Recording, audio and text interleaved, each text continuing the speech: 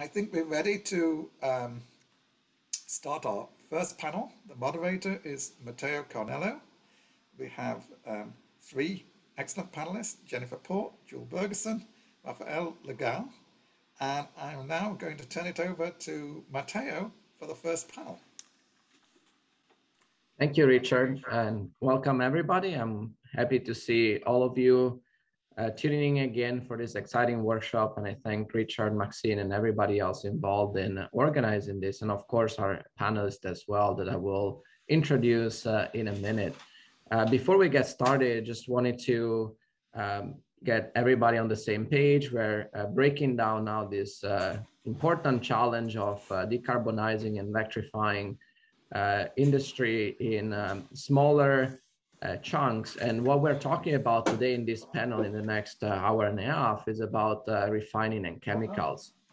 So we probably we realized from yesterday's discussion, especially from Arun's perspective, that this problem will require uh, multiple uh, efforts in different areas and it's not going to be one only area that will be able to contribute and solve everything so today we're exploring how uh, the uh, production of chemicals and the refining industry can contribute to decarbonization and electrification in particular we have experts uh, discussing uh, first of all introducing the problem and discussing the most important areas where electrification and decarbonization are needed and can be actually utilized. Uh, so the format of this panel is similar to the ones we had yesterday. We'll have, uh, I will introduce uh, three speakers one by one, and each speaker will give a short uh, presentation introduction from uh, with their perspective on this challenge. And then we will follow with a panel discussion of about 40 minutes so I invite uh, the uh, audience to ask questions for the panel and put them in the chat, and then I will collect the questions and go through them at the end of all the presentations. So I will uh, invite first, uh, our first contrib contribution this morning is from Rafael Legal. Rafael joined Total Energies in 1997 as a, an R&D engineer. Uh, and after a long career in the company, he became the CO2 conversion team manager uh, of Total Energies global R&D program in 2021. Uh, Rafael is in charge of the R&D team located at Total Energies in Belgium Research Center, working on CO2 conversion processes to decarbonize chemical manufacturing. Uh, thank you so much for being here, Rafael, and please. Um... Thank you very much, uh, Matteo. Um, so we'll share my screen. I'm very glad to be here with you uh, for this uh, Stanford workshop and to discuss about the uh, electrification and decarbonization solution for uh, refining and, and chemicals. Um, uh, as a, lot of oil and gas company, uh, Total Energy in the last years fixed its own ambitions in terms of CO2 uh, reductions uh, by your first objective in 2030 by a decrease of 40% uh, uh, in CO2 emission com in comparison with uh, the, the, emissions in 2015, uh, with ultimate objective in 2050 to go toward a net zero objective. Uh, if we look at um, uh, the CO2 emission in the company, uh, we can see that uh, this emission are split between uh, uh, two main branches of the company, the exploration production and the refining and chemical branch of, of Total Energy. And you can see here that uh, the, the, global amount of, uh, of CO2 uh, emission is around 20 million tons per year, scope one and two uh, for the refining and, and, chemical. And if we look at the origin of this, uh, of this emission, we can see that 90% uh, of the origin of the CO2 emission are linked to the use of fuel gas uh, in uh, refining and chemical complex. Uh, and we have a 10%, around 10% coming from liquid and solid fuel. And we have some emission as well uh, with flaring and vents. If we look a little bit more in detail, uh, which unit uh, produce this CO2 emission, we can see that naphtha cracker uh, which allow us to, to produce uh, the, uh, the, molecules for polymer production, leads to very important emission. We have also a, a, fluid catalytic cracking unit, which allow to convert AV feedstock into mainly gasoline and diesel, which emit as well a lot of uh, uh, CO2. Uh, the use of the furnace of the crude distillation unit emit also a lot of uh, CO2 and uh, the, the, reformer uh, also uh, produce um, a lot of emission as well. I do not uh, mention in this diagram the, the, steam methane reformer, but steam methane reformer units uh, for the production of hydrogen leads to quite a huge amount of CO2 emission as well. And if we look now uh, at the different uh, levers that we have in order to reduce this, uh, this emission, uh, we have different stages and in total energy, we consider a step-by-step -step approach towards the, the net zero. And the first uh, option, which is very important on the current asset of the company, uh, is to reduce uh, the CO2 emission uh, by optimizing the current units in, in, in, our complex by optimization, for example, the energy efficiency of, of the processes.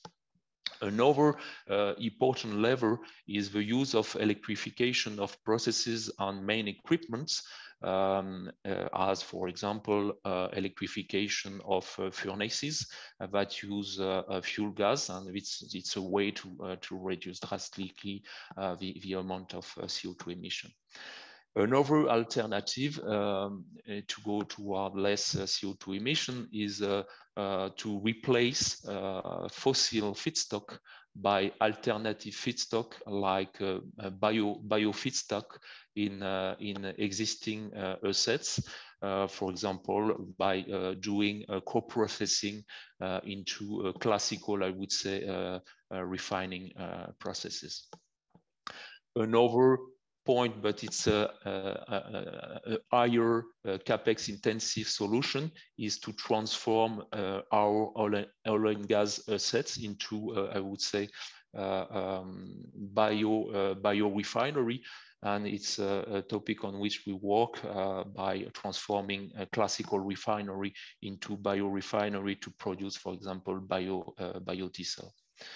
And the last point uh, that will concern, would say, uh, more uh, uh the, the, period after 2030, 2035, is to build new greenfield site based on new feedstock like uh, uh, CO2 as a raw material, but also bio feedstock and a very high amount of electrified processes in these new complexes.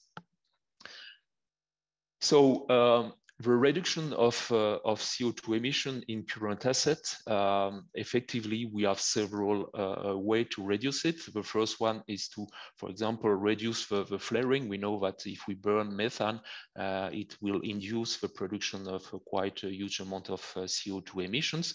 Um, it's uh, very important as well to look to look at the reduction of methane leaks because methane is has an important impact on the climate uh, temperature effect.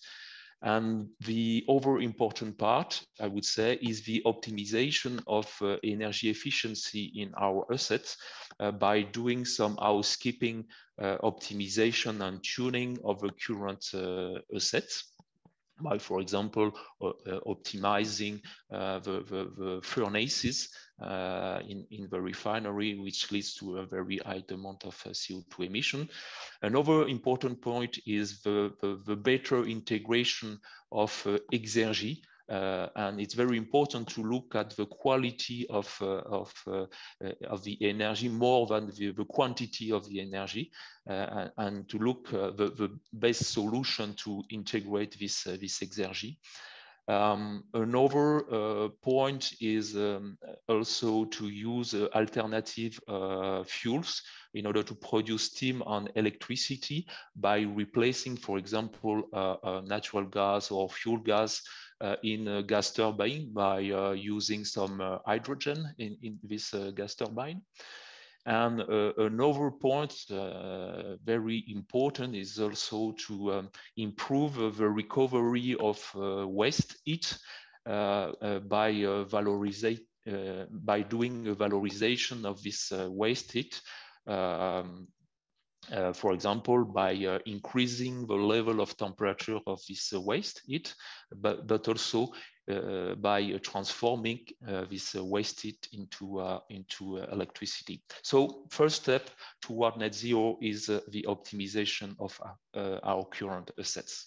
Another point very important in our refinery or petrochemical units uh, are the, the uh, transformation of classical uh, furnaces that use a lot of fuel gas and fuel gas uh, is uh, has a very important impact on, on CO2.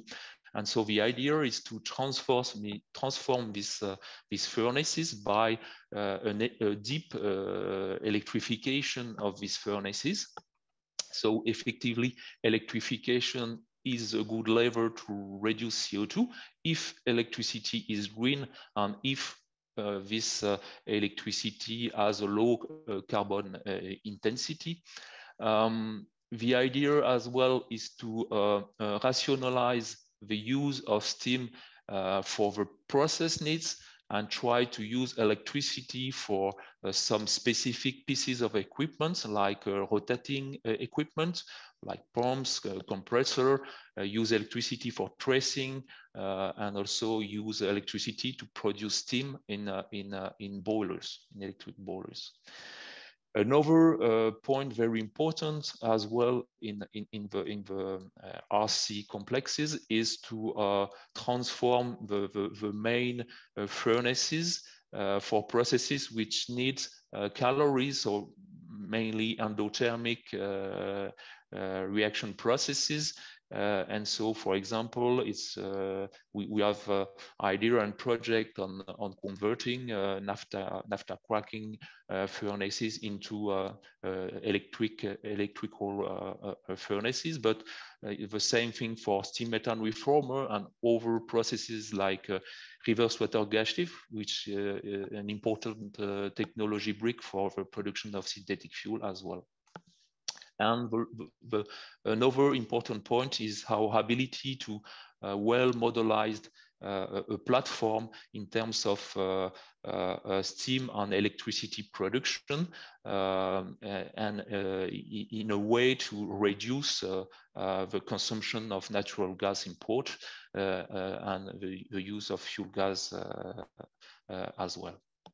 But we have to keep in mind that uh, uh, the use of this uh, uh, higher amount of electricity will uh, impact uh, normally the, the, the, OPEX of the site due to the fact that electricity cost is, is higher than natural gas cost. And we have to keep um, also in mind uh, the, the evolution of green electricity price in the, in the future. Um, and so I would say for uh, a short-term uh, focus, I would say uh, uh, it's important to, to deploy this electrification toward the most emitting processes and, and equipments. After, uh, effectively, another important point is the use of alternative feedstock in uh, refining and chemical uh, assets. And here you can see uh, to appear uh, the, the, possibility to produce biofuels and, and uh, e-fuels uh, by using uh, bio feedstock for the production of biofuels and electrons and water for the production of, uh, of e-fuels to put in place a circular e economy and to close the, the loop for the, the, carbon, the carbon use by putting in place the CO2 neutral cycle. Um, so effectively, a, a first point that uh, we try to do is to make co-processing in, in, in, refining uh, unique uh, by um, using uh, biofeedstock uh, to, to have idea how we can use CO2 uh, as a raw material for carbon source to, to, to go toward a synthetic, synthetic fuel. Um, and as I said, uh, biofuels and e-fuel are considered as CO2 neutral. Uh, but the concern is uh, the access, the generalized access to this uh, bio feedstock, which is a, a, a key point, but uh, uh, access as well to the, the, green electricity. So I would say that uh, co-processing could be a good thing as a, a bio oil feedstock as a first step to use the, the current processes, but not enough if we want to fulfill uh, the, the future sustainable liquid fuel demands. And so CO2 is really a good complementary feedstock to fill the gap.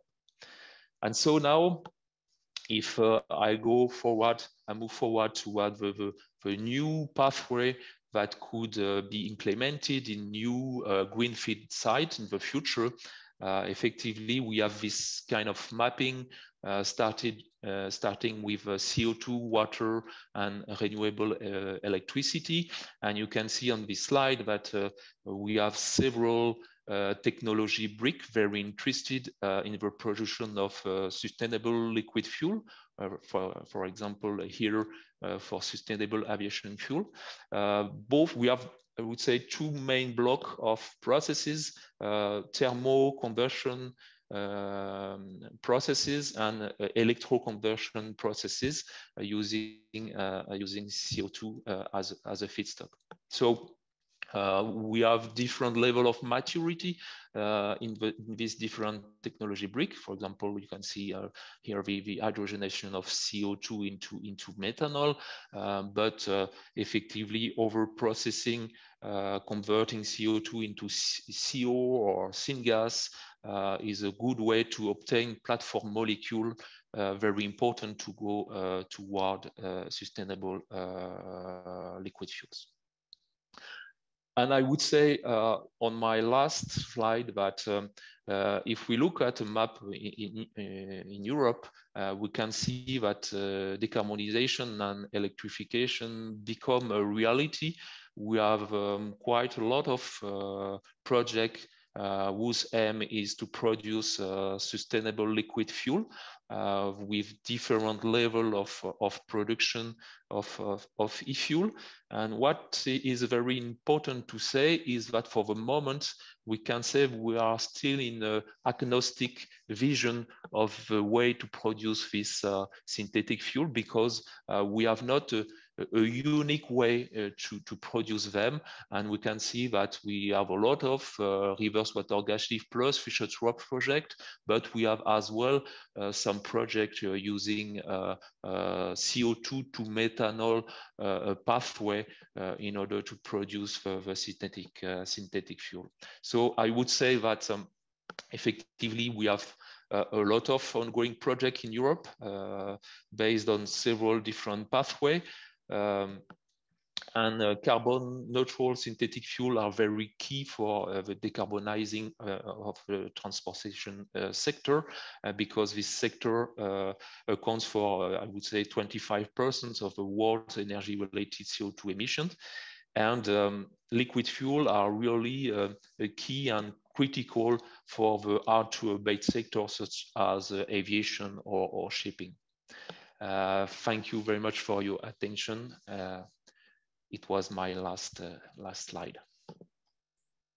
Thank you very much, Raphael, for introducing the, the challenge and certainly providing a few different avenues to explore and we'll uh, certainly explore more in the panel discussion. Uh, so it is now my pleasure to introduce uh, our second uh, speaker, who is an academic speaker. It's Professor Joule Bergerson. Uh, Joule is uh, an associate professor in the Department of Chemical and Petroleum Engineering and Canada Research Chair in Energy Technology Assessment at the University of Calgary. She works in developing tools and frameworks for the assessment of prospective technology options and their policy implications from a life, life cycle perspective. Uh, Joule, thank you so much for accepting our invitations, and uh, we look forward to hearing your thoughts before getting into the panel. Great, thank you very much. Thanks for having me. Um, yeah, so I'm going to be talking primarily about refining as well, um, and uh, you know, good to hear that uh, a lot of my messages are not inconsistent with what, what Raphael just presented, and he provided a lot of really great uh, background information. I think I take maybe a little bit more of a, you know societal perspective and as well as a systems perspective. And so I think I'd start by maybe pushing back on Matteo's uh, statement and the structure of this workshop, where we're looking at these individual sectors of the economy, which I think is important, and we need customized decarbonization uh, strategies for that. But I also think that the systems perspective is really important to think about these transitions over time. And I think it's particularly important in refining. And so, you know, what I see as multiple pressures on refinery today that, that lead to different types of decision making if you look at them in isolation versus as a whole. And so this, this pressure to decarbonize is, is there in refining, but it's also there across the supply chain. And so thinking about decisions within this sector really does have to take the rest of the supply chain into account because you can end up with some unintended consequences uh, or miss out on opportunities to reduce. Um, there are regional uh, variable and uncertain changes that are, are projected in terms of um, product slate demand, which I think is, is really important to take into account um, as well as some of the feedstock options. And, and again, needing that systems level to look at that. So my research uh, program looks at systems level analysis of decarbonization options and, and by doing that in refining, we can help to identify some of the opportunities for emission reductions um, that might be most cost effective in the near term versus the long term, as well as envisioning what the refinery of the future might look like. And, and the systems perspective, I would argue, allows for sort of opening that up a little bit more and looking a little bit more creatively about what this uh, sector could look like into the, into the future, which is a, a low carbon future. And so to do this type of work, we have a, a tool that we have uh, built, which is called the prelim model. So it's the petroleum refinery life cycle inventory model. So it is at a systems level. It represents sort of typical uh, types of refineries. We can do three basic refinery types. So, you know, that, that is the, the majority of what's deployed today. So hydroskimming, medium conversion, deep conversion, different combinations of those process units can represent, you know, a range of different refineries that are operating today. Um, we look at, it's an Excel-based open source tool, so you can download it from the link below on our, our group's website. Um, we take basic information about the, the, the, crudes that go into these refineries, as well as the, um, the fractions of those crudes to be able to actually look at individual process units, uh, energy requirements, uh, intermediate product specifications, and, and final products. We can also sort of um, look at allocating emissions to the different products. And just to, to highlight here, one of the key things um, that we need to take into account is that we've got a whole slate of different products uh, and that demand for those products is changing. Um, as we think about the transition over time, we have to think about all of those. So as you decarbonize and electrify the economy, um, all of these products are not going to change in demand in a linear fashion in, in the same way. And so thinking about how to best use this, this uh, resource is really important uh, to take into account. And so the example I would give is is electrification. Um, you know, one of the biggest impacts I would see on refining is that um, electrification of transportation will decrease demand for different transportation fuels in different proportions over different time periods. And so how might these uh, operations react? They're not going to scale down linearly based on that demand change. Um, so, so it's an important factor. I would say that we're just about getting ready to release version 1.6 of this model. Um, so if anyone's interested in learning more about it, happy to, to chat about that later. Um, but what we can do with this in representing um, existing refineries is actually start using it to identify opportunities for reductions. So this is a, a greenhouse gas emissions uh, for different types of refinery configurations. So it's not any one particular refinery, but a range of different ways you could you could see refineries operating around the world. Um, and then it's broken down by, um, and these are greenhouse gas emissions per barrel of crude processed it's broken down by the type of energy that's being consumed that then contributes to greenhouse gas emissions. So this by itself helps us to just sort of understand where the opportunities to reduce are. You can see that there are um, that, that process heating is, is a big contributor to greenhouse gas emissions for most of these uh, configurations. Um, and so with that, we have opportunities for incremental changes with energy efficiency uh, reductions and, and improvements and, and things like that. So if you don't have cogeneration, you can better use the, the gas that you're using um, by generating both steam and electricity, for example. Um, improving individual units with you know more advanced technologies, higher efficiency, um, those kinds of things. And then there are still low-hanging fruit in terms of process integration in some refineries. I think one of the systems questions we have with that is how much do you invest in those more incremental, sort of uh, immediate type of opportunities versus looking at the long term decarbonization, deep decarbonization options? the electrification of heating, I think, um, is, is definitely possible. I think what we see in most jurisdictions is that current carbon pricing doesn't make it economically competitive. So until either carbon pricing or other incentives would be there, um, we need to think about that. I think the other question associated with it is if you have a, a source of plentiful renewable electricity or, or low carbon electricity, is it best to use it in this type of uh, sector or should you be using it for other purposes and how do how might they compete for the use of that um, i think there are definitely opportunities to do that but i think we have to think strategically about how to best use that resource this is just another way of looking at that same data. Um, this is looking specifically at the US and, and the refining configurations that are actually deployed in the US. And so now we've got the attribution of total emissions in the US from refining broken down by the refinery configuration type. So again, this helps us to understand where the opportunities are in any one jurisdiction. So we can look at multiple jurisdictions. This one is just the example of the US refineries. So we see that the medium conversion and the deep conversion are the two sort of big contributors to overall greenhouse gas emissions, and therefore would be the priority uh, for reductions. This is a third way uh, to, to slice and dice these uh, emissions and actually doing it by pro individual process unit for each of these refinery configurations. And with that, we can start looking at things like carbon capture. Um, and so looking at these individual units, the energy that's being consumed and the greenhouse gas emissions, we can start prioritizing the process units and the, the streams of CO2 where CO2 capture would be um, most advantageous. Um, and so we can look at the, um, the units uh, by their relative greenhouse gas emissions. And then we can also look at strategies for, for opportunities to reduce, um, looking at specific configurations and, and refinery type that has been deployed. So I won't spend too much time on that. I'll just say that if we pick the top process units, so process heaters, that's where we have the maximum potential for, for carbon capture. If we're looking at medium and deep conversion uh, refineries, then the steam methane reformer tends to be another big opportunity. And then with the, the, deep conversion specifically, we've got more diversity in terms of their, their operations, but the steam boiler and the FCC units might be additional opportunities. And just comparing these potential reductions, so these are avoided uh, greenhouse gas emissions. Um, here, this is uh, avoided using carbon capture, if we pick these top four uh, streams of, of, CO2, you can get on the order of a 40% reduction in greenhouse gas emissions from these uh, refineries. So very refinery specific, but definitely getting us down the path of much larger emission reductions. Um, and with something like a deep conversion, you might have more complex strategies for the way in which you could carbon cap you could capture the carbon. And that might be something that uh, gets you even further along the path using carbon capture technology. I think the other piece, though, is to say um, we can incrementally improve the operations within the, an individual refinery, but I think we might then be missing out on this bigger opportunity to re-envision what a refinery could do. So these refineries are, you know, 400 plus refineries around the world, strategically located um, close to demand centers, and, and they're highly sophisticated, complex uh, chemical refinery complexes.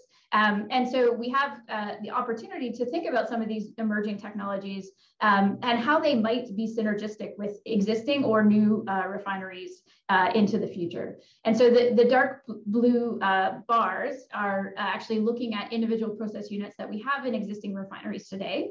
And then everything outside that are opportunities for additional um, technologies that could be deployed that might help us leverage some of the opportunities um, at that individual refinery level. Um, and so this also just does that connection also to things like petrochemicals and the downstream.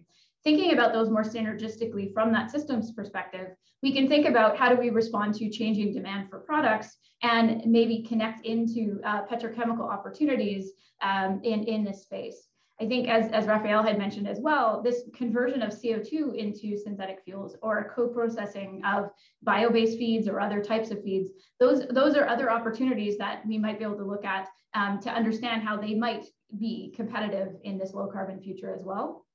And I won't go through all of them, but I do think that there's quite a number of opportunities in terms of um, ways in which we could re-envision existing refineries um, to, to the point that was made about the discussion yesterday in terms of learning curves.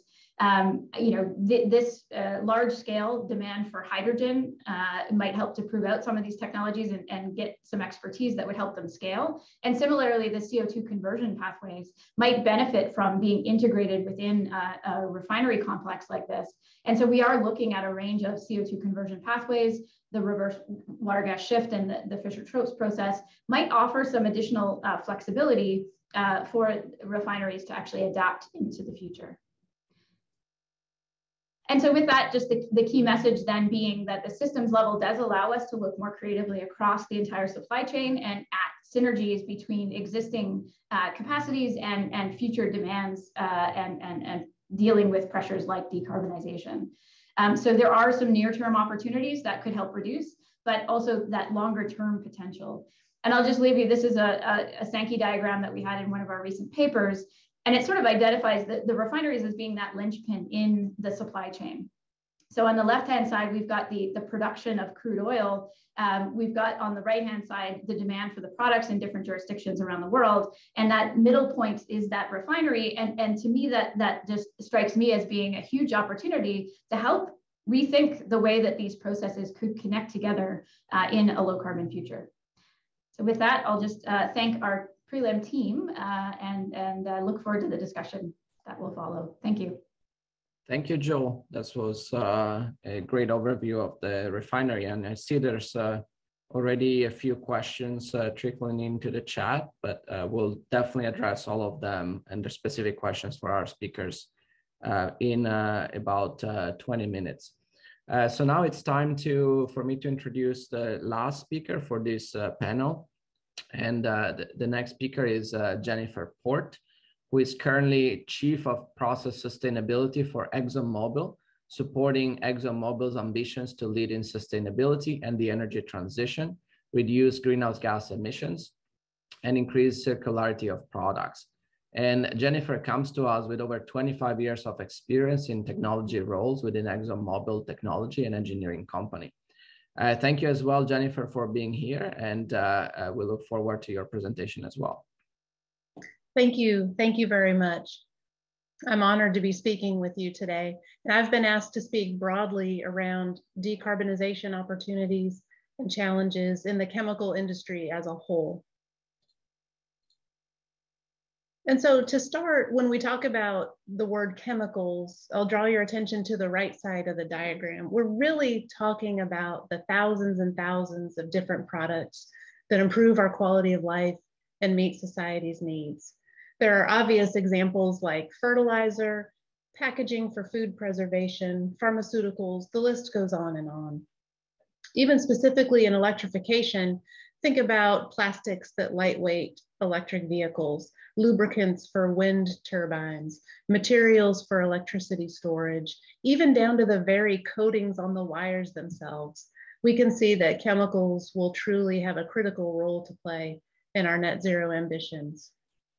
Now, while the industry makes thousands of end use products, when we start to look at things like energy use and greenhouse gas emissions, I want to shift your view to the left side of the diagram most of the energy inputs and greenhouse gas emissions result from the production of what we call the three primary chemical building blocks.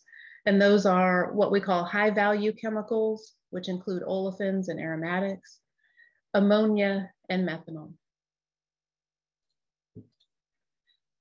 And this is important because the global demand for chemicals, um, based on what we just talked about, um, and the global demand for these primary chemicals is predicted to grow. And in some cases, you can see by this chart, grow dramatically. If unabated, with production growth will come emissions growth, as we can start to see on the chart on the right. Chemical production by its nature is relatively high energy intensity because we have to do some serious rearranging of chemical bonds. And we typically have to separate our products to very, very high purity in order to meet product safety and performance requirements.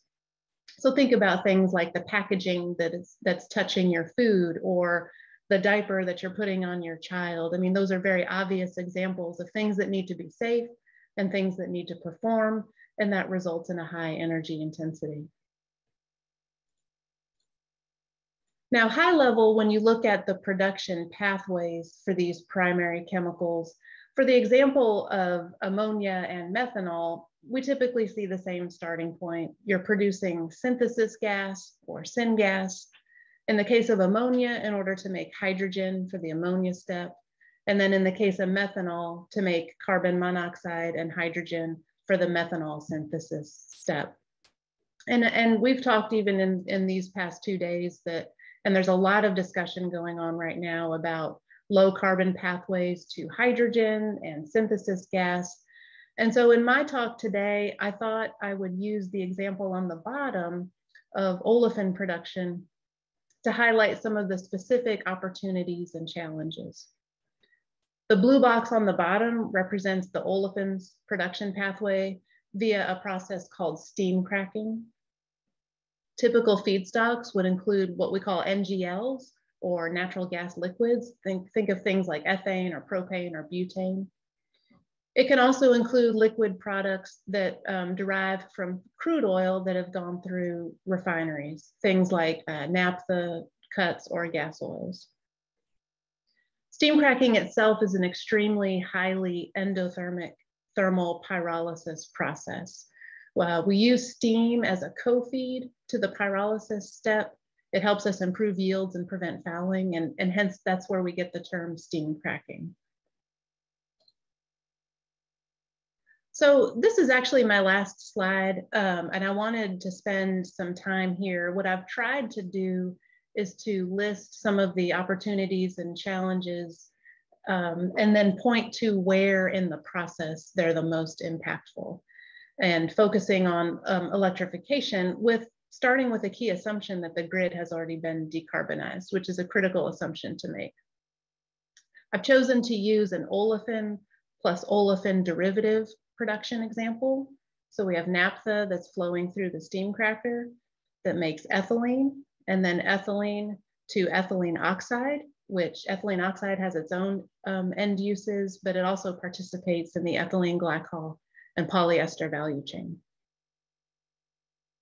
So first, starting on the upper left, um, with what I call high level considerations, and, and these really span more than just steam cracking. We've talked about some of these already in the workshop.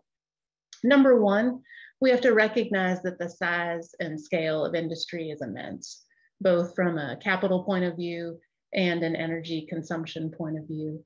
And so just a frame of reference, um, a modern sized steam cracker would make something like um, 1500 kilotons per year of ethylene. And that can consume around one gigawatt of energy per cracker. And one gigawatt is about the size of a, of a world scale power plant just to run that cracker itself. Number two, um, in order to achieve economy of scale, these plants are massive. They are big, they are expensive, typically multiple billions of dollars per site, and they run a long time. Um, I often joke with my younger engineers, we have many assets in ExxonMobil that are actually older than I am once you sink multiple billions of dollars, you want to run that asset as long as you can. So when we think about um, research opportunities and developing new technologies, one of the things that becomes really important is we have to have ways to de-risk and prove out new technology, especially if you are going to um, ask a producer to make a multi-billion dollar, 50 plus year investment. Number three, this is a mature commodity global business. And I, I, think that opens up a lot of interesting opportunities in areas like business, commercial, policy, when we think about what is the best way to get a huge industry to shift and change to decarbonize? What are the lowest cost market mechanisms that would incentivize producers to lower their emissions?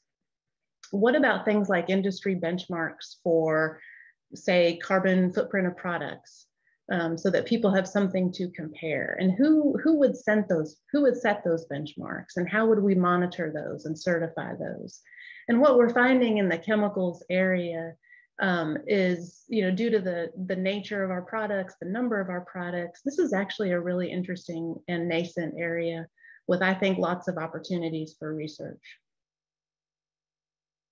If we move to the blue box in the middle and kind of get more into the details of the process, number four, um, specifically for steam crackers, thermal pyrolysis, the temperatures are high. We're hitting around 1200 degrees C or over 2000 degrees F in the firebox. And while we do have electrification solutions that, that theoretically can reach those temperatures, um, the other challenge we have is that the heat flux is also high. And so what we're doing in this reactor is we're cracking and blasting these molecules apart in a couple hundred milliseconds at most. And dictated by thermodynamics, it's just a huge endotherm. We can't get around that. So we have, it's really fast. We got to get a lot of heat at a very high temperature, has to get in super quick, making electrification a real challenge. We already talked about economy of scale. These plants are big. They run 24 7, 365. They do not turn on a dime. So number five, reliability and intermittency of electricity. It's it's important um, as we think about electrification. It's actually a base case issue for steam crackers. I remember when I was training our operators at our new facility that just started up near Corpus Christi, and they were disappointed that we had not installed our own cogen power generation system at that particular site and that they would have to rely on the grid. And understand that less than 10% of that cracker energy comes from electricity, and they were still tremendously worried you know, you get a power blip at your house, your kids might complain about losing internet. But when you're firing massive pyrolysis furnaces and running over 100,000 horsepower of large complex turbo machinery, um, a power blip can, can um, take your plant down for hours or even days. An opportunity that's, again, it's broader than just the chemical industry, but how do we model and design. Um, I, I liked the previous speaker's words on systems. How do we design the electrical system from generation, infrastructure, storage, the whole system that will have the reliability that's needed to run these big industrial plants. And then finally, if we move over to the green box, um, there are some items that electrification just doesn't solve. So number six is shown here with ethylene oxide production. You're reacting ethylene with oxygen, but reactions aren't perfect and, and some of the reactions go a little bit too far and we end up producing CO2 in the process itself. So the CO2 is not coming from the combustion for energy consumption, but it's just occurring in the main reaction itself and needs to be purged from the system.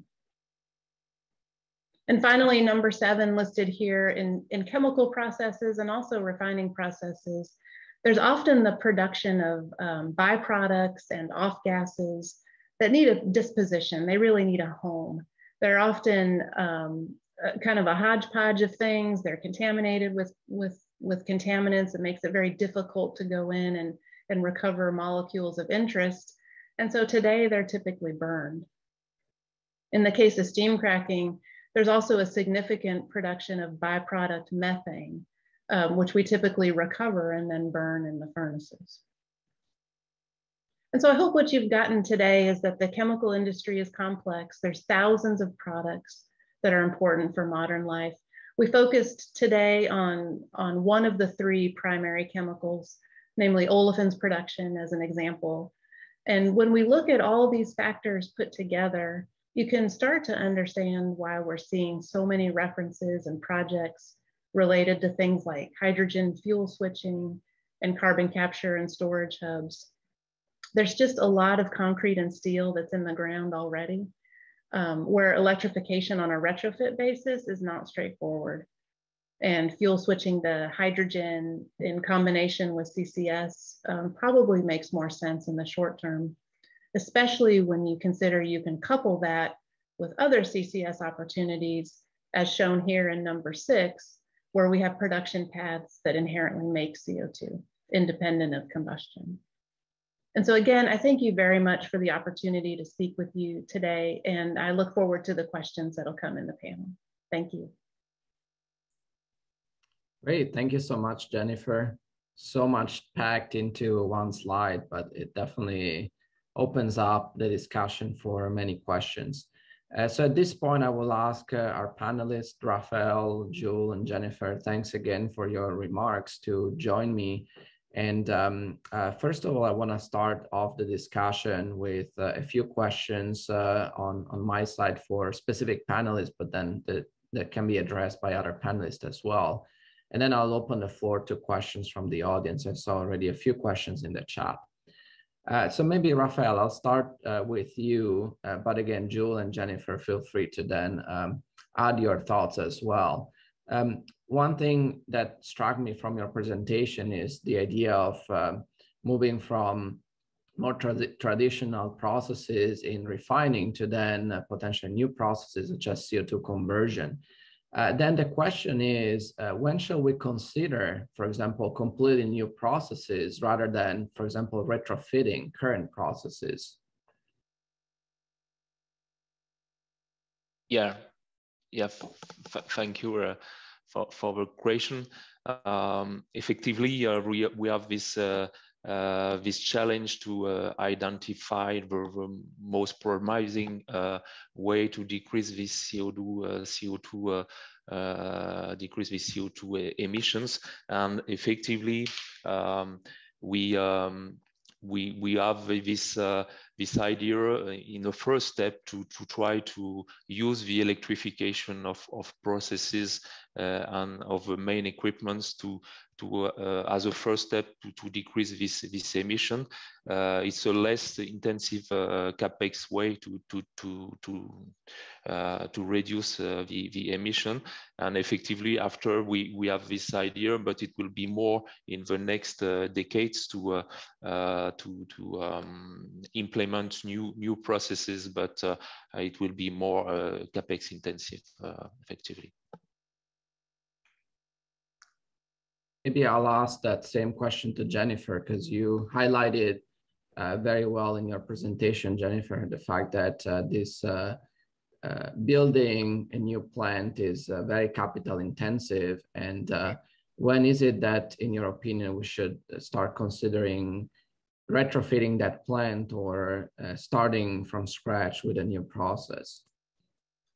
I think in the chemical industry, because of the um, projected growth, I think that's actually an opportunity to consider new processes um, maybe earlier than other industries. So please don't misunderstand me. I'm not discounting the very important aspect of decarbonizing our existing assets. But let's look let's look forward and look at new technologies. And, and what I'll tell you is we're actually considering those new process pathways now. One of the issues we do run into is is taking a risk with with the um, with the amount of capital risk that we take when we build these industrial scale complexes we really need to find ways to de-risk that new technology prove it out um, and have a pathway to ensure that the, the plant will run safely reliably and make the product that we want Agree. Can I jump in, Matteo? Yeah, please, Joe. Sorry, so I think, uh, yeah, Rafael was talking about some of the technologies from a greenfield perspective that I was talking about from a, you know, synergistic with existing infrastructure perspective. And I think the answer will be sort of, I think the answer will be regionally specific. I don't think it's going to be technology specific, right? So I think we've seen discussion of, of petroleum refineries shifting to become biorefineries in locations where the bioresource is, is available and, and economic. Um, in other places, I think there's going to be additional challenges. And I think this idea of, of siting new, um, you know, large chemical complexes should be taken into account as well. That'll be a hurdle to build something completely new from scratch. And so I think looking for opportunities to make use of the existing system, as well as all the expertise and the um, the, the infrastructure that's there, um, we shouldn't discount that. We should be considering that and putting it on the table. For sure. Thank you, Joule. Um, I wanted to stay uh, maybe with Joule and, and ask um, a question about uh, emissions. Um, I really appreciated your uh, your work on um, uh, understanding emissions from the point of view of their finding. Uh, there's this debate whether to consider that emissions from the use of the products uh, and the chemicals and the the refining products uh, when should we consider those or shall we consider those as part of the emissions from uh, refining operations and how uh, then should we consider about decreasing those emissions within the refining industry? Yeah, I think I think we should always consider them. Whether we place the burden of reductions on the refinery, I think, is a separate question. Um, I think you want to look for the most cost-effective reductions, um, and I think there are things you can do at the refining stage that will affect those downstream. I think I think it's more the the feedback coming from the downstream towards the refinery. So this idea of you you have a balance of products you're producing um, if you have a, you know large electrification of the transportation fleet and your gasoline demand drops, um, that then translates back to decisions that have to happen in the refinery. So I think you always want to take those into account, and I think there are some choices you'd make at the refinery that might have negative consequences on the downstream side. So you might be producing products that would have higher carbon intensities or, or things like that. Um, but the, the counter side to that is that there, there are opportunities at the refining stage to also affect those downstream. And we know from the transportation life cycle greenhouse gas emissions that 60 to 80% of the greenhouse gas emissions come from burning the fuels in the vehicles. So you definitely want to have that front and center as you're making decisions throughout the supply chain. Thank you, Joule. Uh, Raphael and Jennifer, what are your considerations in, in this sense from an industry perspective? I, I, like how Joule mentioned the, the life cycle view. And I, and I think that becomes an important view when we consider when we consider the functional unit. So in the case of a refinery, that's typically uh, a transportation. I need to I need to move from this point to this point. I need to transport. Um, for chemicals, what we find is is the story due to the thousands of products we have. It, it while the life cycle view is critical, it becomes it becomes difficult um, to to just take a single product and then and then presuppose what all the uses will be for that product. So there there are some examples like um, packaging where the functional unit is to contain something and to preserve it and and we do see um, you know, certain chemicals like uh, like polyethylene packaging having life cycle advantages versus other alternative materials. But then you know you have to consider the um, the whole life cycle of that plastic, and it becomes a, an interesting and complex conversation. And that's where we point to things like um, you know, there's lots of, there's LCAs that are published in the literature and you can see a lot of differences in those. And that's why something like an industry benchmark or this is the way we're gonna view this, um, we need to start moving towards that so we can all get on the same page and move in the same direction to reduce emissions. Thank you. Rafael. you wanna add yes. to the discussion, please? Yeah, uh, yes, and uh, I completely uh, agree with uh, uh Joule and uh, Jennifer arguments. and effectively, it's uh, something that we perform as well, uh, this uh, complete uh, LCA uh, uh, study that take into account effectively the, the use of, of fuels. and yes, for, for our side, it's it's a need to to take into consideration this this fuel consumption. So may I ask in, for your particular company, this goal of net zero, does that take into account then the emissions from the use of the products or is it in the operations? Uh, if effectively um, in, in, in our uh, uh, ambition, we have uh, the defined, but uh, I think it's the same uh, thing for the over oil and gas company that we will split the, the CO2 emission into several scope and effectively, uh, we have uh, defined our objective in scope one, two, and three. and effectively, it's well, it's well taken into account in our ambition. Yeah. Thank you. Um, Raphael, I wanted to go a little bit more into details of uh, especially uh, CO2 conversion, for example, the case scenario that you presented from your company's perspective. And uh, I'm wondering, how do advances in other processes then affect your plans for electrification and decarbonization? So for example, I would imagine that um, planning for making uh, chemicals from CO2 would rely on advances on CO2 capture, for example, or, or maybe not. How do you deal with uh, this potential uncertainty in having to develop other processes as well before you're able to then really tackle the challenges in decarbonizing, electrifying, and electrifying certain processes in your company? Yep. So uh, eff effectively, uh, the, uh, the, the CO2 uh, CO2 conversion uh, topic uh, is really a, a, topic in R&D in, in, the company.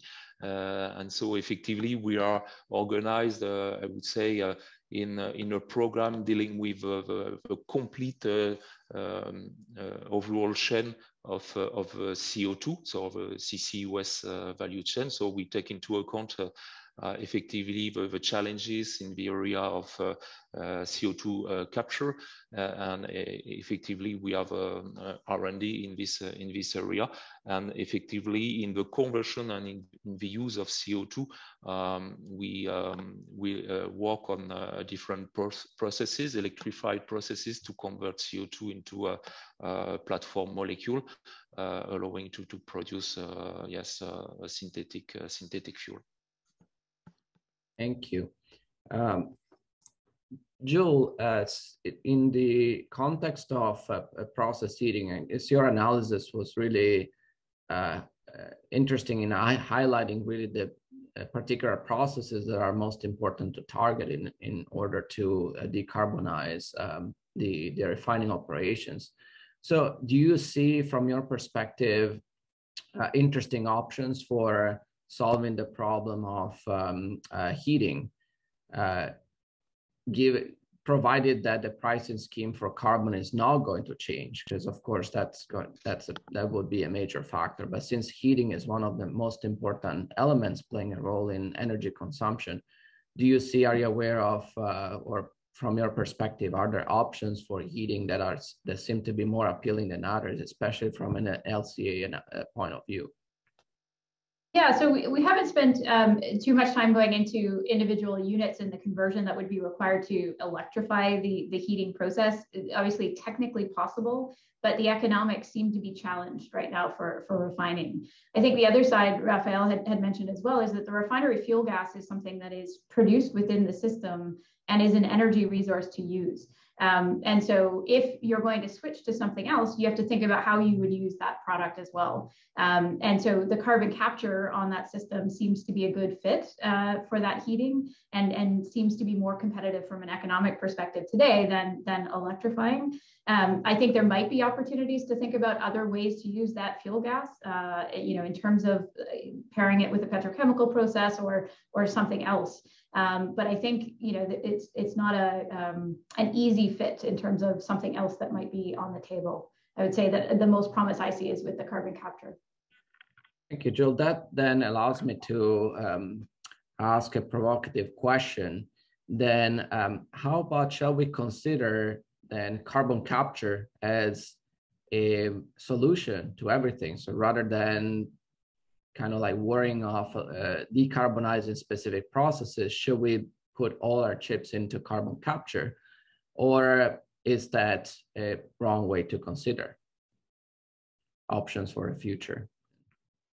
Yeah, and I always go back to my systems thinking, right? I think I think that uh, with with carbon capture, you know you're you're placing it on uh, a stream of CO2 but if that stream of CO2 is is going away because of the demand for the product that that that process is uh, producing um, you, you, don't want to be you know investing in something that in the long term is not going to deliver right? So I think you need to have the the sort of short term medium term long term horizon perspective in terms of which which of these investments are going to make sense today and in the near term to get us some early uh, reductions but then what is also going to be a robust decision into the future that we know is highly uncertain, right? Where the carbon pricing will be at 2050, um, whether or not we've maintained our momentum in, in achieving uh, net zero, you know, all of those kind of questions come in to decide which of these investments is going to make sense. And, and hopefully we're taking that different time period horizon into account when we make those decisions.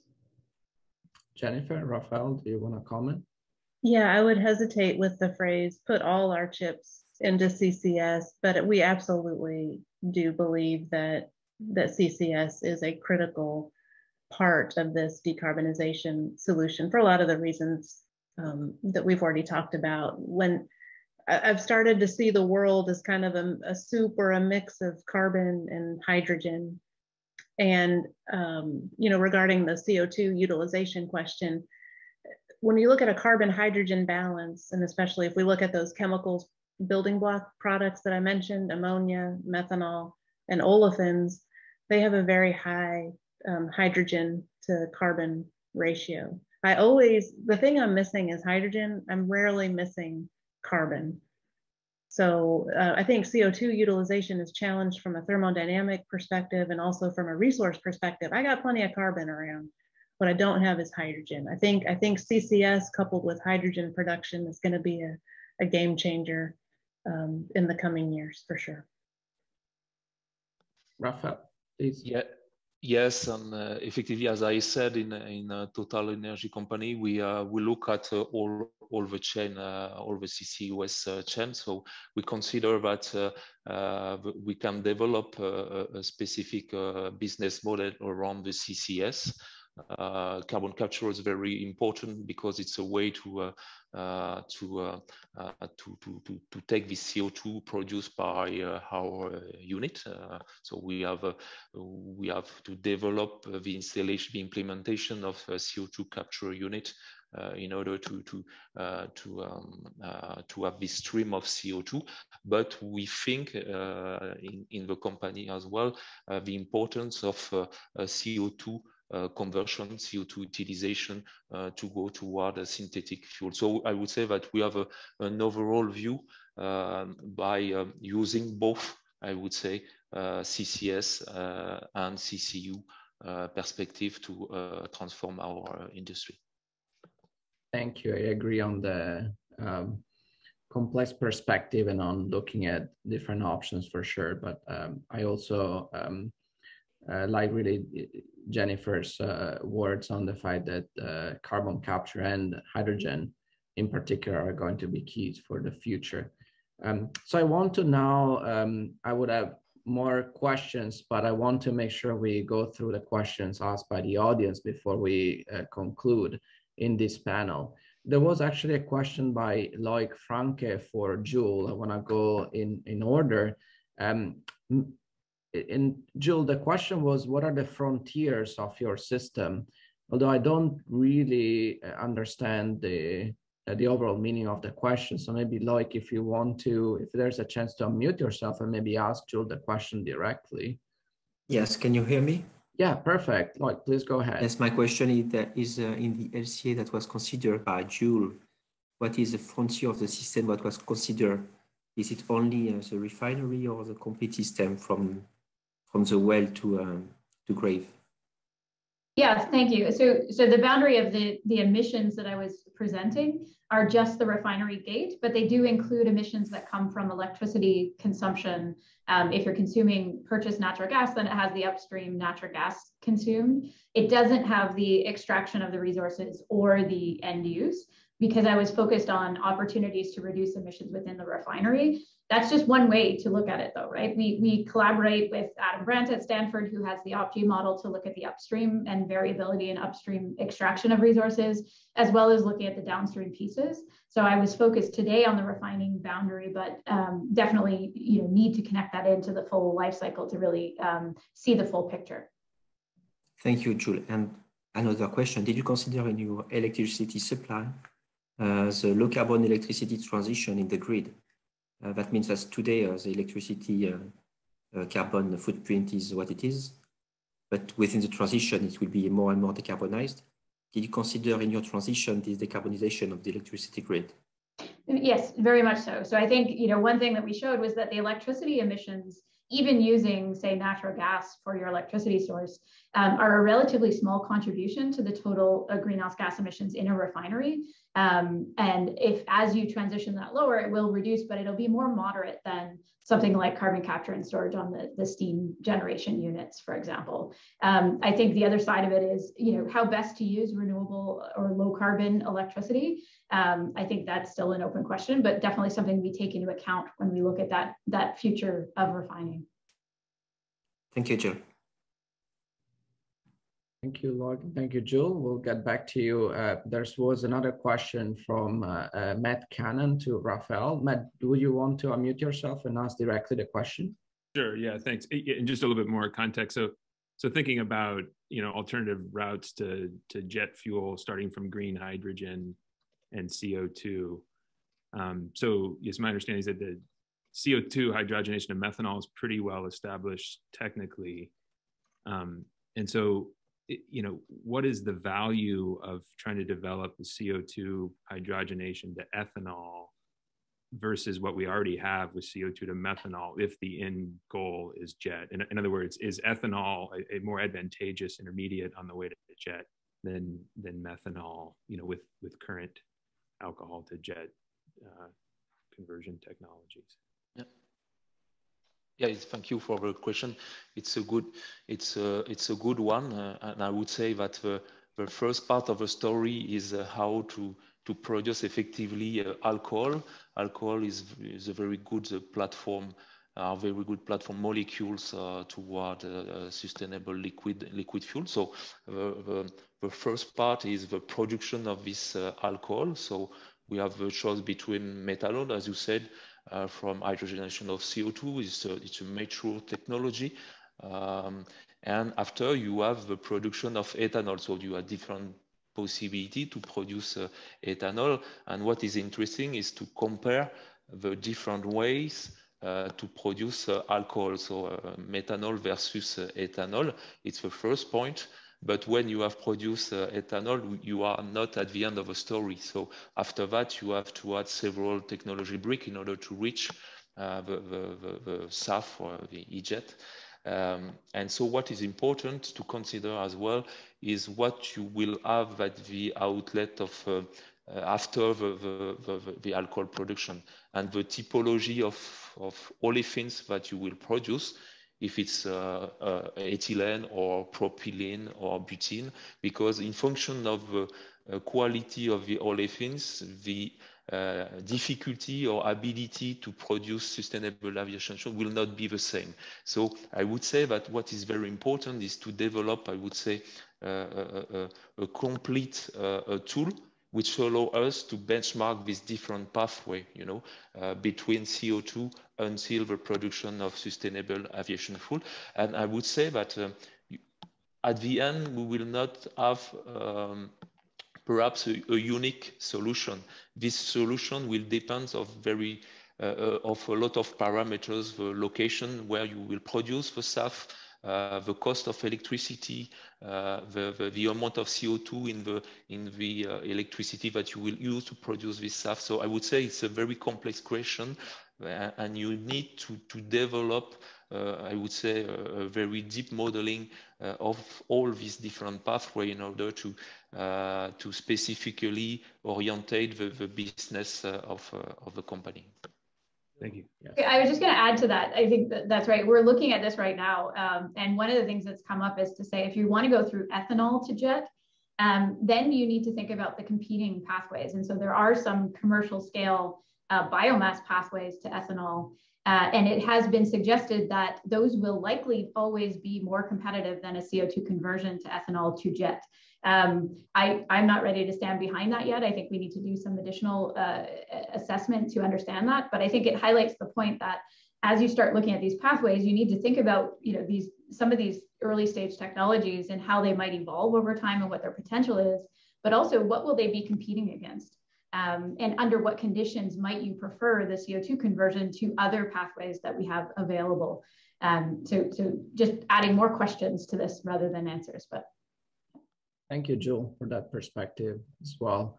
Uh, and maybe uh, before we move to the next question, uh, Rafael, this question from Matt highlighted the fact that uh, in your chart, in your schematic of the multiple ways to move from CO2 to different products, all the things, uh, you had uh, some of the processes were um, electrified processes. Some of them were thermochemical, and there was one only process, the one that uh, then uh, Matt was uh, asking about, which is biological, uh, probably enzymatic approaches. How do you see then in the context of decarbonization, and electrification, the role of biological processes, especially in the production of chemicals. Mm -hmm. Yes, this um, this type of uh, of processes is uh, of interest for uh, uh for uh, to total uh, energy, and so these these processes are of interest for for for us, um, effectively because um, we are able to to start to start the, the the conversion of, of CO2 or CO uh, with this uh, biological uh, technology. and I would say it's very interesting to see in which extent we can use as well other processes in conjunction of these biological processes to, um, to have a synergy. for example, we can uh, effectively imagine uh, reverse water gas shift, which is a thermo uh, conversion process, very interested in the way to produce CO.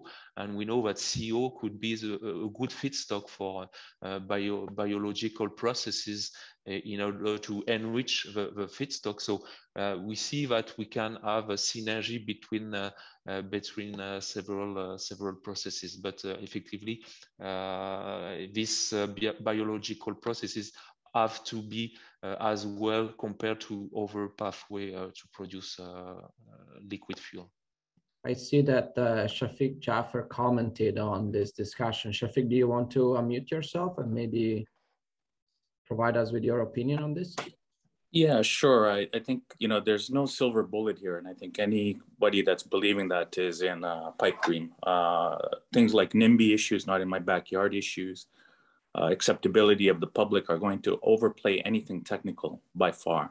The politicians and how uh, policy is going to make are going to be driven first by that.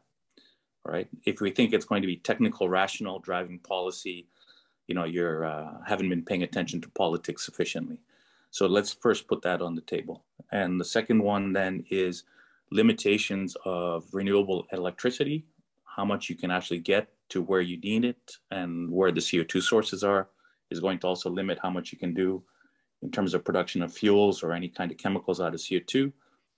And the second is biomass as well is not available everywhere in sufficient quantities. So we need to think about where's the highest value for the various sources and biomass probably has the highest value to kind of go for jet fuel short term right? As we try to fit a very constrained problem because uh, of the existing fleets and existing equipment that you can't just substitute uh, fuels easily. You have to have very specific uh, specific specifications on the fuels. Uh, people forget all the aging issues and material compatibility issues in these planes have been designed for very tight tolerances on specifications of fuels. So you can't just substitute anything easily in there and as we try to broaden that then you know perhaps bio and that can be spread out. But i think we have to take the most value for where the most constraint is when we think about use of the bio sources. So let's not forget about kind of these other constraints when we talk about trying to say okay there's one pathway or one silver bullet here. I, I don't think there is by any means. Yeah. Thank you shafiq. That's a very important uh, element to keep in mind Joule, just, please. Yeah, I was just going to respond on that. I think I think that's all very uh, critical as we go through this. I think the techno-economic greenhouse gas footprint is part of the decision-making process. Um, public acceptance, like I think all of these things are pointing towards that regional uh, transition um, and really keeping that focused on both regional in terms of availability of resources as well as public perception and, and um, you know that will be different in different regions as well. I, I just highlight as well that I think as part of that, um, having a credible and transparent system by which you actually demonstrate to society that you've achieved your reductions is really critical. And we're not seeing um, enough movement in that direction i think. I think you know we can find the best technical solution and, and really succeed in, in implementing some of these technologies but if we don't have a robust system that society buys into in terms of a, a, an accounting process by which we can track that, and that it's a fair and consistent basis um, globally, then we might lose the public again in terms of the, the opportunities for these reductions and demonstrating that we've achieved them. I'll just add that to that. I, I, I think Joule, I think that's spot on, and I would extend it. It's not only um, with respect to public acceptance; it's also having these benchmarks and, and accounting, as you as you say, um, in market mechanisms as well, so that you we can allow people to compete on an even level playing field. Thank you. So I think this uh, is a good segue for Alexander Su's question. Um, Alexander, do you want to unmute yourself and ask Jules directly your question? Yeah, sure. I would. I don't know if this is too naive a question, but I was just curious, I guess, about that last slide you showed, um, where you know there's so much uh, crossing between different countries. So I was curious, I guess, in addition to market demands, are there sort of considerations of you know, different policies or different incentives, um, you know, from different uh, market countries or like of the final products uh, that are kind of taken into account at the refinement level right now. Yeah, I would say definitely there's not enough uh, dialogue across those supply chains, right? There's um, intermediaries that mean that some some points in the supply chain never actually even know what is the fate of, of some of the products that are being produced. And I think that leads to missing out on opportunities for that. There will definitely be um, conflicts and, and different interests, and you know even the public perception will be different in different regions. So I think we can't expect that we're going to get a uniform decision everyone agrees to and then everyone does it. I think that that's uh, unrealistic. But I think taking those you know strategic views across the, this very complex network of, of players um, really could help give us the sense for which direction should we be going. And again, going into this, you know, measuring and, and, and managing these emissions, um, as, as long as that is, is credible, transparent, and consistent, um, then we can start seeing that movement. But I think, you know, it will continue to be you know, uh, different transitions in different regions for sure. Thank you. Thank you, Joule. I want to spend at least a couple minutes before we get into the break and conclusions from this panel talking about intermittency because I think Jennifer, you highlighted really, uh, really well in your presentation how in, uh, when we think about electrifying processes, we have to consider the fact that uh, if we want to operate on renewable electricity, the sources will be intermittent. And uh, then Raphael showed us the importance of storage. So where do you think are the, well, we probably know the challenges, but where do you think are the opportunities there in um, uh, then modifying current processes or coming up with, should we really consider coming up with completely different processes that are able to withstand intermittency more uh, reliably than the processes that we're running today. Because as you said, even processes that have minimal input from electricity, then uh, engineers uh, are really worried about uh, intermittence in those cases. What, what, what do you think, Jennifer, is an opportunity here? Um, I'm gonna I'm gonna steal from Joule again and say it's that systems approach. It has to be um, drawing a box around the whole system. We can solve little individual pieces of the problem. Um, but these, these grids, generation, um, trans, um, transmission, and then usage are really on a systems basis. And we've, we've if you look at um, crude oil and chemicals, global supply chains, things like um, fuel pipeline systems, feedstock pipeline systems. We're, we're able to solve those problems from a material balance point of view.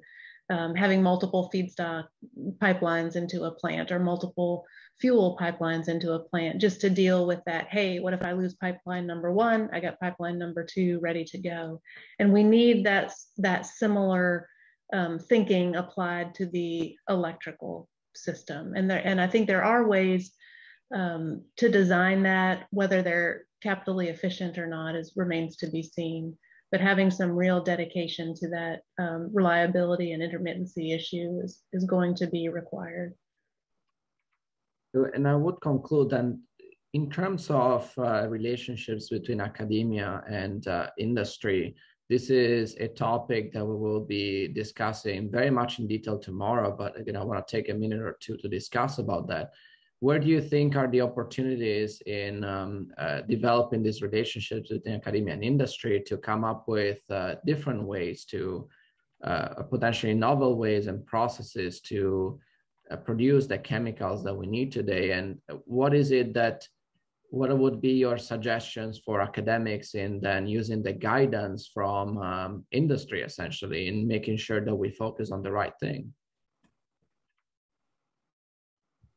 I think it starts with conversations like we've had over the past couple of days. I think um, just, you know, I'm just so uh, thankful that Stanford wanted to invite some industry experts to come speak at this conference so you can hear what our concerns are and hear you know if you're going to focus focus here. And and and what i'd say is um, ccs hydrogen that's in the mix. Where this this is something that is going to be in the mix. It's something we specifically at exxonmobil are serious about.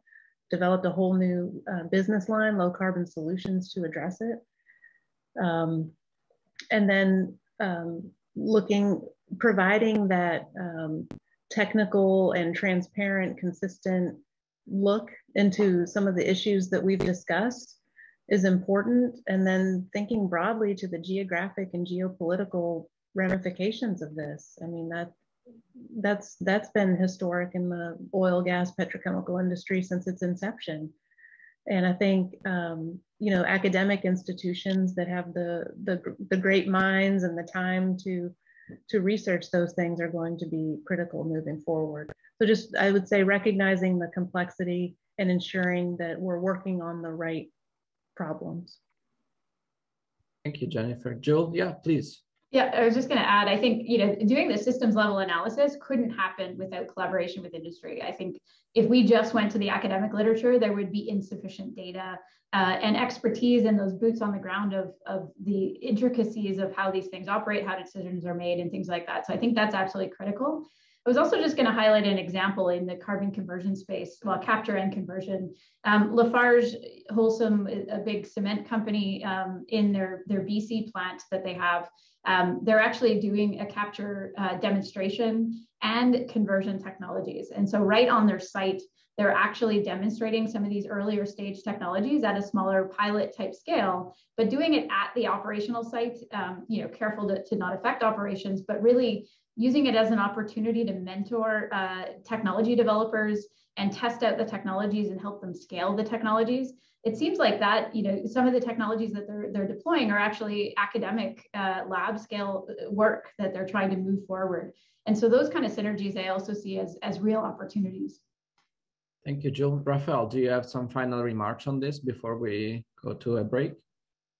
Yes, effectively, I, I, agree. Um, uh, it's very important, yes, to, to develop this disruptive uh technology toward uh, uh, synthetic fuels. But one point which is very important to have between industry and academia is also technology supplier in order to, to go quickly to, uh, to uh, the upscaling of, of technology. So I think I would say uh, when, when we have a good idea, it's very important to think uh, with the possibility to integrate quite quickly in our process uh, technology supplier in order to, to go quickly toward the solution. Thank you so much. And I have to thank uh, our industry uh, collaborators. Uh, I benefited as a young faculty member. I benefited tremendously from these uh, conversations throughout the years, and it's uh, also thanks to the the willingness of um, you to come and join these discussions, conversations uh, that we are able to to move forward. So with that, I thank again Rafael Legal, Jules Bergerson, and Jennifer Port for the outstanding presentations, uh, introduction to the challenges and the problems, and also for being willing to then uh, interact with us uh, on this panel discussion. Uh, I think, um, at least from my perspective, uh, I have more questions than answers, but that's uh, what this discussion should be all about. And I look forward to working with many of us in the community in order to address some of the challenges that were presented in this panel. With that, thank you so much again, and I will pass the baton back to uh, Richard. Okay, thank you, Matteo, and thank you, uh, Jennifer, Joule, Raphael. Uh, a great panel, great discussion, um, and um, we uh, will continue, I'm sure, uh, the, the, the conversations that we've had.